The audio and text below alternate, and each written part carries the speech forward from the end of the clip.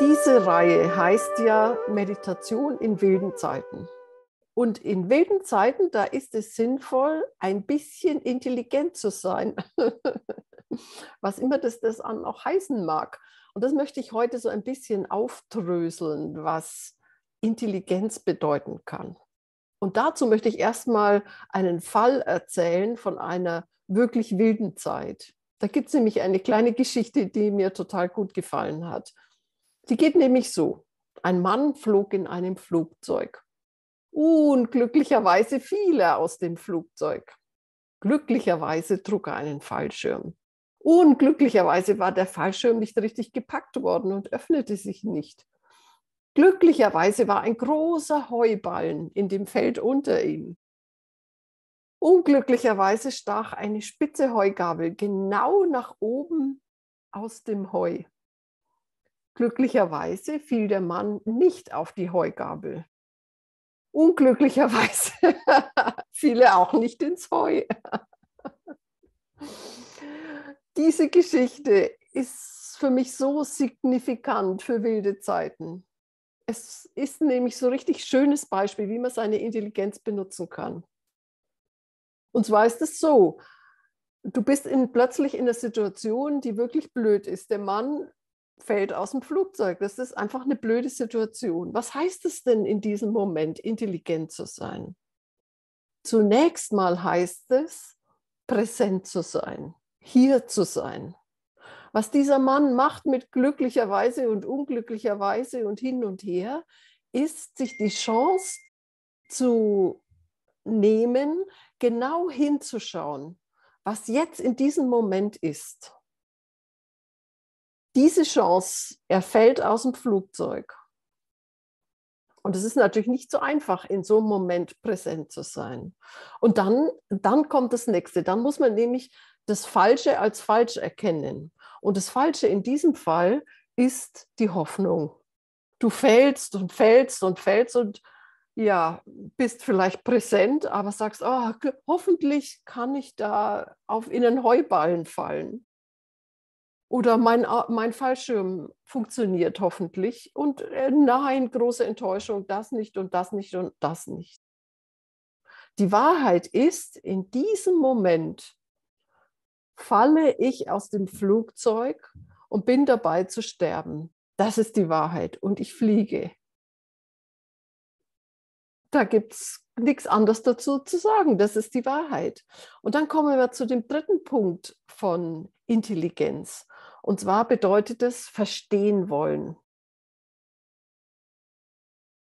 Verstehen zu wollen, was das denn heißt, in dieser Situation zu sein.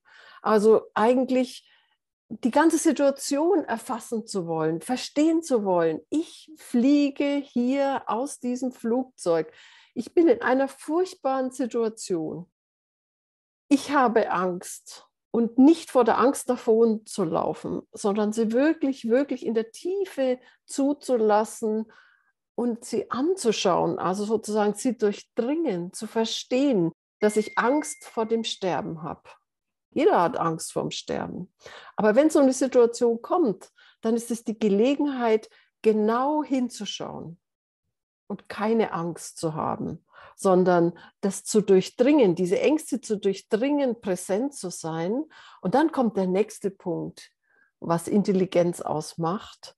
Nach hier sein, nach das Falsche als falsch erkennen und verstehen wollen, ist der vierte Punkt von Intelligenz, nach innen zu gehen, zu sich zu gehen, still zu werden, entspannt zu sein, in sein Herz zu gehen, loszulassen, da zu sein, mit seinem Herzen. Und so ist es vielleicht, wenn du das schaffst in dieser Situation oder ich, wenn ich da fliege, aus dem Flugzeug in der Luft bin, womöglich sehe ich in diesem Moment plötzlich die große Weite, die große Schönheit. Wenn es so ist wie heute, ist es ein einziges Glitzern an Sonne. Es ist ganz wunderbar. Und vielleicht kann ich in diesem Moment das wirklich genießen zu fliegen, selbst wenn der Tod wartet. Der Tod wartet immer, der wartet auf jeden von uns, immer und jederzeit. Aber diesen Moment, den kann ich noch genießen. Und der fünfte Punkt ist dann die Durchdringung meines Herzens. Und zwar bedeutet es, tiefer und tiefer und stiller und stiller zu werden, loszulassen. Und womöglich wirst du dann zum Himmel selbst, zur Weite selbst, zur Größe selbst. Diese fünf Punkte, die kann man natürlich überall üben. Da muss man sich nicht aus dem Flugzeug rausstürzen. Jeder kennt genug wilde Zeiten, wo die Dramen nur so an die Tür klopfen und immer da sind. Benutze diese fünf Punkte. Also ich sage sie nochmal, hier sein, erkennen, was falsch ist und dem nicht zu folgen, sondern der Wahrheit zu folgen, also die Wahrheit zuzulassen. Das bedeutet eine Öffnung, nicht bewerten, Entspannung. Der dritte Punkt, verstehen wollen, also nicht davonlaufen, wenn schwierige Situationen sind, sondern sie erkennen wollen. Das bedeutet jetzt nicht Therapie zu machen und zu sagen, ah, weil ich in meiner Kindheit immer Flugangst hatte, deswegen habe ich jetzt Angst, hier runterzufallen. Darum geht es nicht, sondern die Angst an sich jetzt, wie sie in diesem Moment da ist, zu durchdringen. Und womöglich entsteht dann Liebe aus Angst.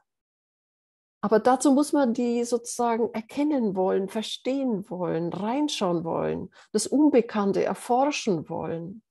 Das ist also der dritte Punkt. Der vierte Punkt ist dann, nach innen zu gehen, zu seiner Entspannung, zu seiner Liebe, zu seiner Stille.